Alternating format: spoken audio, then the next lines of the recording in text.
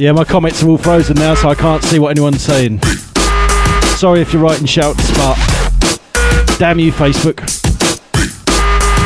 Into this one, something from Majistrate and Voltage. Brand new.